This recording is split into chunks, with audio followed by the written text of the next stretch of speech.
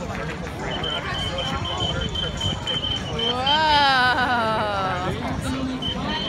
I think this is one that's normally the caterpillar.